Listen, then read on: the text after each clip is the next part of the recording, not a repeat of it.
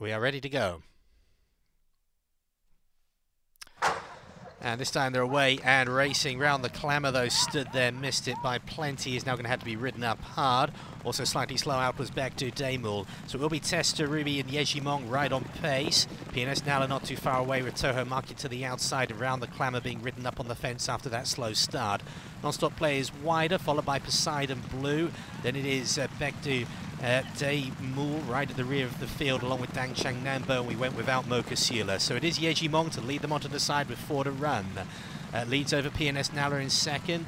Uh, with Toho Market third to the outside. Tester Ruby back to the fence, round the Clamour one off. That's the one, two, three, four, five. There's in a gap of about three lengths to the remaining four, those being Poseidon Blue, non-stop play. And then it is Dang Chang Nambo and Bektu Daimul, the back marker. So preparing to straighten up here is Yejimong, the favourite. Will get first run at it.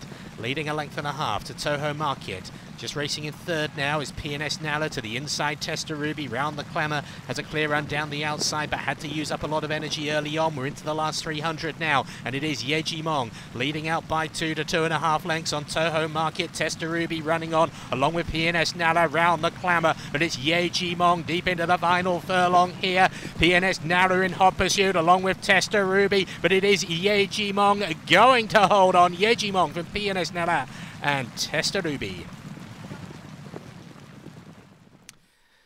Yejimong, Lee Dong-ha for trainer Koo Ja-heung and owners Hon Di, a four-year-old filly. She's by Etched. She's racing for the 15th time and she finally gets her maiden career win. She's done it handily enough, a length and a half on the line to PNS Nala in second. Tester Ruby was third. Then came Toho Market round the Clamour, uh, a gap then to